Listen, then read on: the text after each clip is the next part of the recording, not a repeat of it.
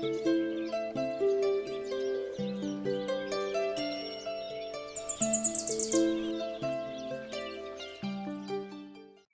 నమస్కారం. నా పేరు డాక్టర్ మానస. ఈరోజు పిల్లల్లో ఉండే మానసిక సమస్యల గురించి మాట్లాడటానికి మీ ముందుకు వచ్చాను. స్పెషల్గా ఇవాళ మనం మాట్లాడుకోబోయే టాపిక్ ఆటిజం. ఆటిజం అనే సమస్య ఈ మధ్యన కొంచెం ఎక్కువగానే వినిపిస్తూ ఉంది. ఆ పదం ఎక్కువగా వినడం అనేది జరుగుతూ ఉంటుంది. దీని మీద అవగాహన ఎంతవరకు ఉంది జనాల్లో అనేదే ప్రశ్న. ఎంతో మంది పిల్లల్లో చాలా అర్లీగా గుర్తించగలిగిన ఈ సమస్యని దాని గురించి తెలుసుకోవడం అనేది చాలా ముఖ్యం. ఆ, తర్వాత దానికి తగ్గ ట్రీట్మెంట్ తీసుకోవడం అనేది కూడా చాలా ముఖ్యం. ఆటిజం అంటే ఏంటి? అది ఒక న్యూరో డెవలప్మెంటల్ డిజార్డర్ అంటాం. అంటే బ్రెయిన్ ఎదుగుదలలో వచ్చే సమస్య. పుట్టుకతోనే అంటే వూమ్లోనే తల్లి కడుపులోనే ఎక్కువ శాతం డెవలప్మెంట్ బ్రెయిన్ డెవలప్మెంట్ అనేది సాగుతుంది. ఆ తర్వాత పుట్టిన తర్వాత కూడా కొంతకాలం అనేది ఆ బ్రెయిన్ డెవలప్మెంట్ సాగడం జరుగుతూ ఉంటుంది. Especially first three years of life child లైఫ్లో ఆ బ్రెయిన్ డెవలప్మెంట్ అనేది ఎక్కువగా జరుగుతూ ఉంటుంది. ఎందుకు ఈ ఆటిజం అనేది సంక్రమిస్తుంది పిల్లల్లో? దీనికి ఒక్క కారణం అని చెప్పుకోవడం కష్టమండి. రీసెర్చ్ ఎంతో జరుగుతుంది. జెనెటిక్ జీన్స్ పరంగా సంక్రమించే అవకాశం ఉంది.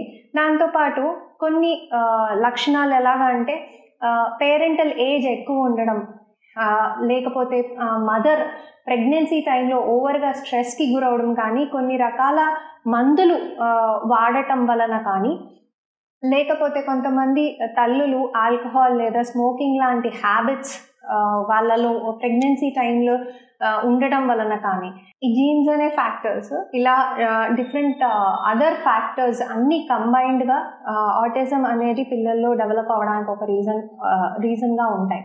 ఈ మధ్య కాలంలో వచ్చేటప్పటికి ఎక్కువ స్క్రీన్ టైం యూసేజ్ వలన కూడా చాలామంది పిల్లలు ఆ ఆటిజం లక్షణాలు గమనించడం అనేది జరుగుతుంది. దానిని వర్చువల్ ఆటిజంగా గుర్తిస్తూ ఉంటారు. దాని గురించి కూడా చాలా రీసెర్చ్ జరుగుతుంది. ప్రపంచ వ్యాప్తంగా తీసుకుంటే ప్రతి యాభై ఆరు మంది పిల్లల్లో ఒక్కళ్ళలో ఈ ఆటిజం లక్షణాలు అనేది చూడటం అనేది జరుగుతుంది. ఎలా ఐడెంటిఫై చేయాలి? అసలు ఈ ఆటిజంని ఎలా గుర్తించాలి అనేది ఎంతోమంది తల్లుల్లో ఒక ప్రశ్న.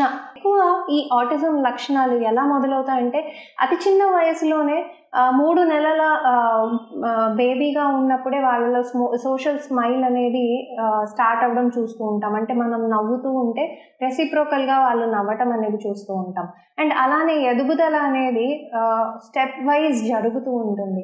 ఈ ఆటిజం ఉన్న పిల్లల్లో చూసుకుంటే వాళ్ళల్లో ఐ కాంటాక్ట్ అనేది చాలా తక్కువగా చూస్తుంటాం. ఐ కాంటాక్ట్ అంటే మనం మాట్లాడుతున్నంతసేపు వాళ్ళు మన కళ్ళల్లో కళ్ళు పెట్టి చూస్తాం జరుగుతుందా లేదా? అనేది. ఈ ఐ కాంటాక్ట్ చాలా తక్కువగా చూస్తూ ఉంటాం. వాళ్ళ పేరు పెట్టి పిలిస్తే వాళ్ళంత రెస్పాండ్ అవ్వకపోవటం చూస్తూ ఉంటాం. అండ్ పద్దెనిమిది నెలలు వచ్చేటప్పటికి ఏదైనా పాయింట్ చేసి చూపించి వాళ్ళ అవసరం ఏదో వాళ్ళు మనకి తెలియజేయగలగాలి. ఆ పాయింటింగ్ అనేది వాళ్ళల్లో లేకుండా ఉండడం చూస్తూ ఉంటాం. అన్నిటికంటే ముఖ్యంగా ఆటిజంలో సోషల్ కమ్యూనికేషన్ ప్రాబ్లమ్స్ అంటూ ఉంటాం. అంటే వాళ్ళు సోషలైజ్ అవ్వడానికి చాలా ఇబ్బంది పడుతూ ఉంటారు. అంటే చుట్టూతా పిల్లలున్నా వాళ్ళంత గమనించుకోరు అంత వాళ్ళతో వెళ్ళి ఆడడానికి ఇంట్రెస్ట్ చూపించరు. యాజ్ వెల్ యాజ్ కమ్యూనికేషన్లో చాలా ప్రాబ్లమ్స్ ఉంటాయి. అంటే లాంగ్వేజ్ డిలే రావడం స్పీచ్ అనేది చాలా లేట్గా డెవలప్ అవ్వడం. ఒకవేళ డెవలప్ అయిన స్పీచ్లో కూడా కొన్ని అబ్నార్మాలిటీస్ చూస్తుంటాం. అంటే నీ పేరేంటి అంటే దానికి సమాధానం చెప్పే బదులు నీ పేరేంటి అని రివర్స్లో మాట్లాడటం. దాని ప్రొనౌన్ రివర్సల్ అంటాము. అలా కొంతమంది ఒకటే పదాన్ని మళ్ళీ మళ్ళీ రిపీట్ చేస్తూ మాట్లాడడం జరుగుతూ ఉంటుంది. అలా స్పీచ్లో డిఫరెంట్ ప్రాబ్లమ్స్ చూసుకుంటారు నాన్ వర్బల్గా కూడా అంటే వాళ్ళకి కావాల్సింది తెలియజేయడానికి గెస్చర్స్ రూపంలో కూడా వాళ్ళు ప్రాపర్గా కమ్యూనికేట్ చేయలేకపోవటం చూస్తూ ఉంటాం.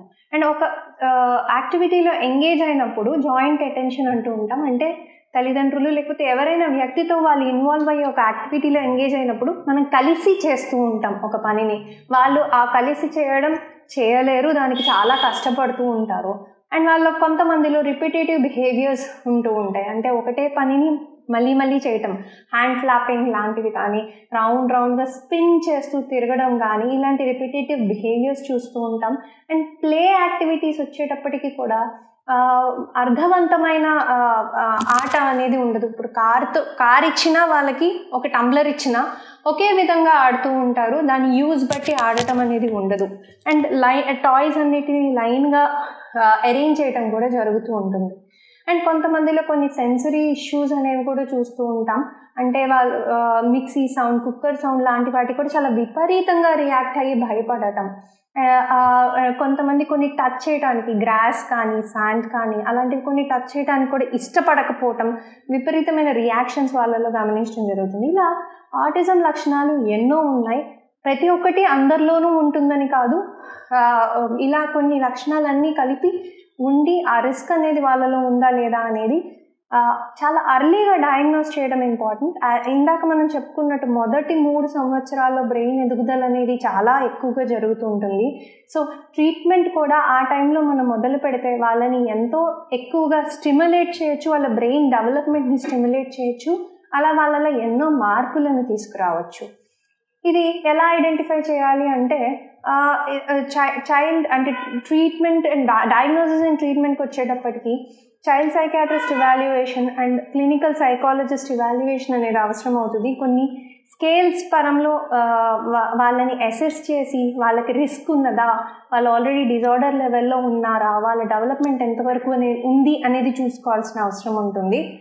దాన్ని బట్టి వాళ్ళకి కొన్ని కొన్ని రకాల మెడిసిన్స్ కొన్ని బిహేవియరల్ ప్రాబ్లమ్స్లో ట్రీట్మెంట్గా ఇవ్వచ్చనే కానీ మెడిసిన్స్తో టోటల్ క్యూర్ వస్తుందని అయితే కాదు. దాంతోపాటు కొన్ని థెరపీస్ స్పీచ్ ఆక్యుపేషనల్ థెరపీ లాంటి థెరపీస్ బిహేవియరల్ థెరపీ వీటితో వాళ్ళకి ట్రైనింగ్ ఇచ్చి వాళ్ళని ఉత్తీర్ణుల్లాగా చేయొచ్చు. సో ఓవరాల్గా ఈ ఆటిజం అనే ప్రాబ్లమ్ని నిర్లక్ష్యం చేయడం మాత్రం అస్సలు చేయకూడదు. చాలా అర్లీగా ఐడెంటిఫై చేసి చాలా అర్లీగా ట్రీట్మెంట్ అండ్ థెరపీస్ ఇవ్వటం వలన వాళ్ళని ఎంతో ఎన్నో రెట్లు బెటర్గా మనం తీర్చిదిద్దగలుగుతాం.